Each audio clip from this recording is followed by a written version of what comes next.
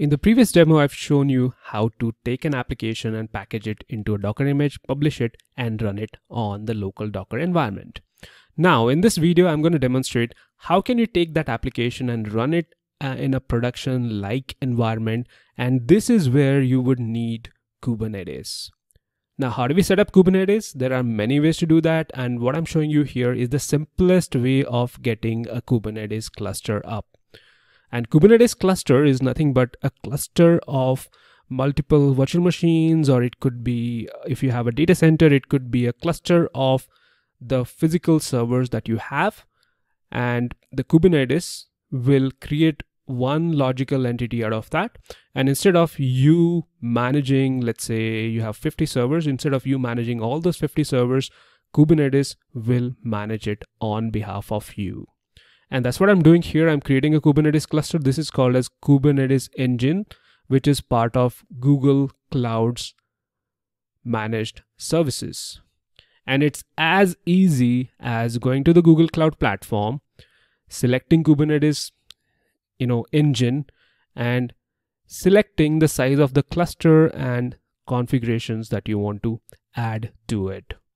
So in this case, I'm creating a cluster of three nodes. So here I'm defining my capacity or in the form of node pools. You can also have some preset configurations like, you know, if you want to create a cluster with certain configurations, certain type of applications, you have an option to choose from that. I'm creating a standard cluster. I'm going to provide it with a name,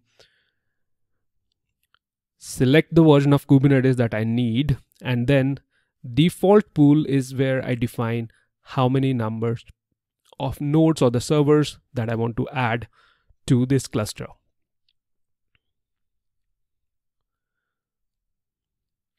So I've selected the pool of node, the, all the default configurations, which is going to create an environment with three servers.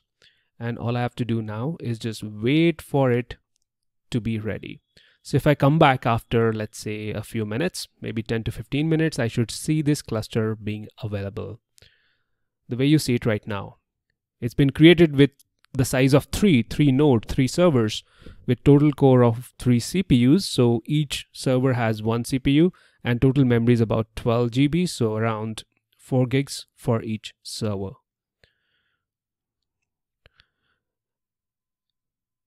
And once I have my cluster ready, I can start deploying the applications with this workloads section.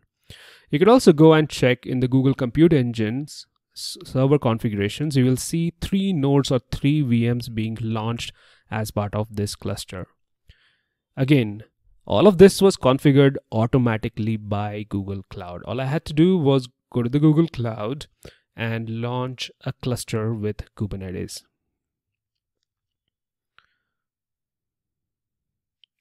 And now on this cluster, I'm going to deploy the container image or an application using the container image that I have. The only difference between the previous deployment, the previous demonstration that I showed you is here in this case, it is going to be launched on a cluster of nodes. And I don't have to worry about where it is being launched, how uh, the scalability or part of it, the load balancing, I'm going to demonstrate or show you all those aspects that Kubernetes gives you. So here all I have to do is select the workload where I pull, uh, pick my image. This is the image that I had published earlier and this is what I want to deploy with version 1. So I provide the image in this box along with the tag. And any additional configuration that I need, I'm just gonna keep everything uh, else as default except for the name of the application here, which is Facebook. That's the name of the application that I had packaged. It automatically generates the YAML for you as well. So Kubernetes relies on a lot of YAML code, which is again a declarative code to define how to launch an application with what configurations. But since this is the managed environment, you don't need to provide anything except for the inputs through the UI.